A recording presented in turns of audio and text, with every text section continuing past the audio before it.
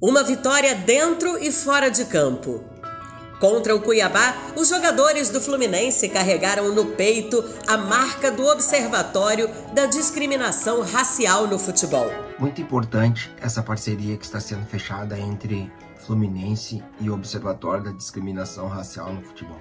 Precisamos pensar o combate ao racismo para além das punições. Precisamos pensar o combate ao racismo com iniciativas de conscientização e de educação dos torcedores e da sociedade.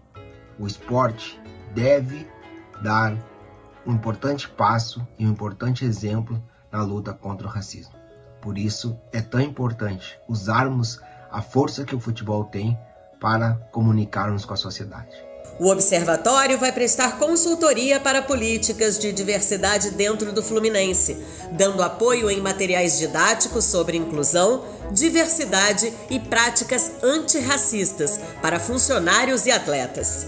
E também na criação de conteúdo para campanhas institucionais. A gente fica muito honrado com essa parceria com o Observatório de Discriminação Racial no Futebol, até mesmo pela postura que o Fluminense vem adotando nos últimos anos, sendo time de todos é, e defendendo pautas de inclusão, especialmente nos estádios. É um momento histórico para nós e a gente fica muito orgulhoso. A primeira ação entre Fluminense e Observatório aconteceu em 2019, na partida contra o Bahia. Os técnicos Marcão e Roger vestiram a camisa do Observatório. Prazer muito grande estar participando dessa ação, desse movimento que o meu clube fez, o Fluminense Futebol Clube, junto com o Observatório.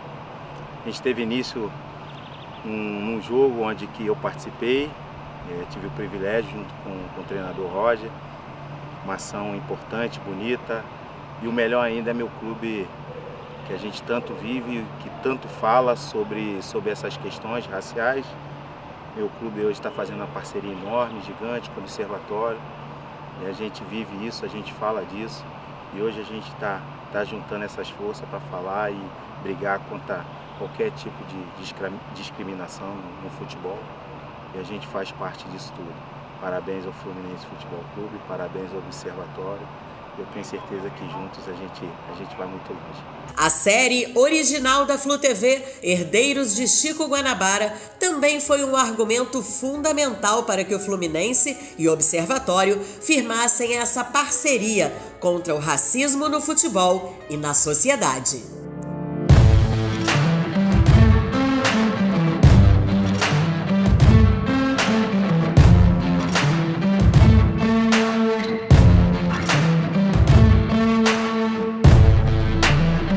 Parabéns ao Fluminense Futebol Clube, parabéns ao Observatório.